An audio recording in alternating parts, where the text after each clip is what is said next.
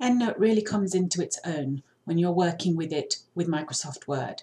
So this video is going to look at inserting references. It's going to look at editing in-text citations because there's a few changes you can make to them and also how to easily delete them. And it's going to look briefly at converting citations to some of the other options that you have, such as plain text. So the first thing we're going to look at is simply inserting a reference into your document. So I've got a document here and it's all in Latin because it doesn't actually matter what it says. And we're going to put some references into it.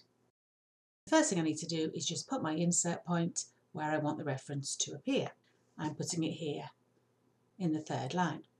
And then I'm going to go to the EndNote ribbon. This will automatically be in Word if you've got EndNote installed on your machine.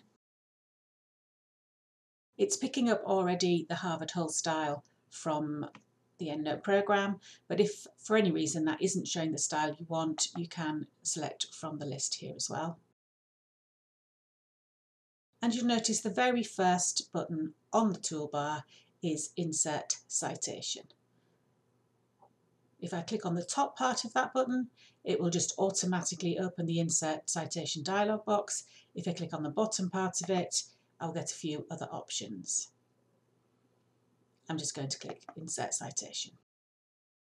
This opens a dialog box where I can search for a particular citation and I can search for it using many different criteria. So the last search I did was obviously for an author called Daly.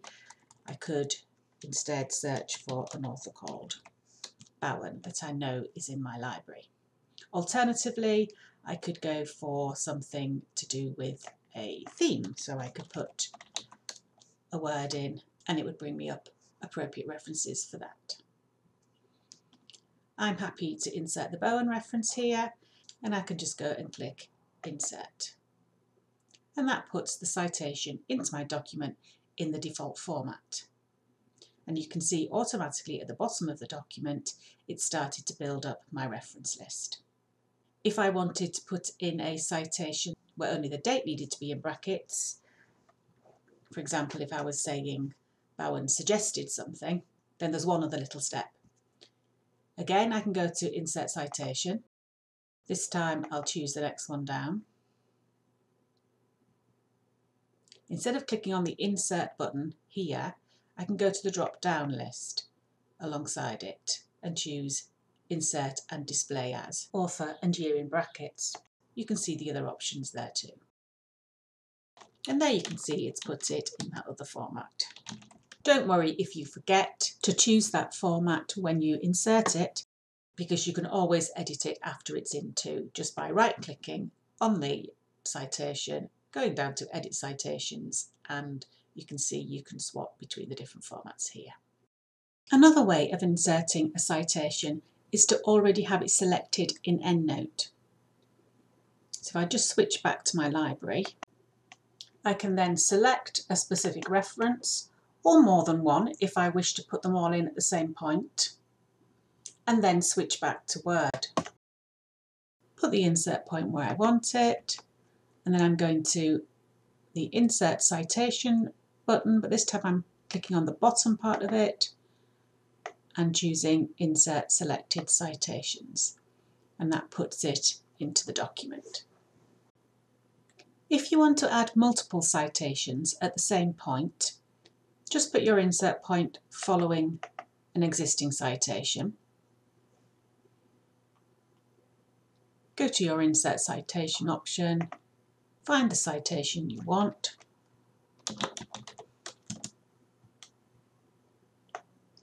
and insert it. And you'll see EndNote automatically includes the correct punctuation. This is also the case if it's the same author at different years. It will adjust the punctuation accordingly. There are a few other things that we can do to edit the citations, and we'll look at those next. The most common form of edit you might need to make to a citation is to add page numbers, for if you've used a direct quotation or for if your discipline needs it anyway. To add a page number, simply right-click on the citation and choose Edit Citations from the bottom of the menu and then More from the bottom of the submenu. This opens the Edit and Manage Citations dialog box. And there's an option for pages at the bottom of this box where you can just put in the number. You could also include a page range here. Click OK. The citations will update and you can see that has now got the page number included. If you want to add any text at all within the brackets of your citations, you can't just click in and type. It will let you initially, for example, if I clicked in front of this citation and put see also, but it will then disappear as it updates. Instead, you need to add this within that Edit Citation option. So again, right click, Edit Citations and More. Make sure you have the appropriate reference selected for the beginning or end of any multiple citations. This is correct. And then I can put my see also in here, remembering to put the space at the end of it and you can see that's included there. It's the same for a suffix.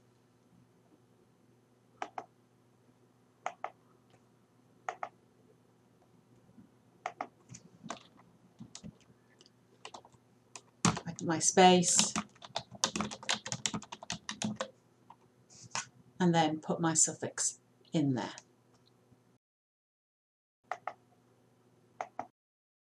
Now we'll look at deleting citations. If you want to delete citations, it's slightly different whether you got an individual citation or a group of citations. For example, for the Bowen citation that I put in to begin with, I can easily select that and delete it, and it stays deleted and it's gone from the reference list. But if I try and do that, say, with the Brunner reference here in the middle of my multiple citations, it keeps coming back as it's updating. For this, again, you need to right click, edit citation and more, and this time I select the reference in the list at the top, go to Edit Reference on the right hand side and choose Remove Citation. That will keep it deleted. And finally, we'll look at converting citations. You may not always need to convert citations, but it's useful to know how to do it. The citations in your document are fields. You can change this so that the document becomes plain text that is, it's as if you'd type them all in manually. Occasionally this is asked for. Make sure your document is saved before you do this and then go to the Convert Citations and Bibliography option on the EndNote ribbon. There's an option to convert to plain text. As you can see, you'll get a message to tell you that this is going to create a new copy of the document without the EndNote markers in it, and you'll keep the document with the EndNote markers in. Be aware that if you've saved this on a cloud drive, you won't get this option, so create a backup copy first yourself. So it's now opened a brand new document called document 3 and if I select over the text you'll see those markers have disappeared.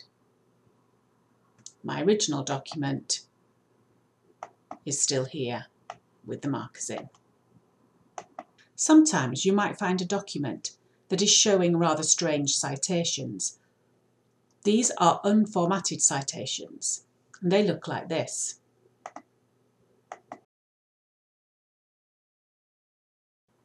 These are the way that EndNote stores citations when no output style is applied. Don't worry, it hasn't broken. All you need to do to get rid of these is update the citations and bibliography and it will reformat them as dictated by your style.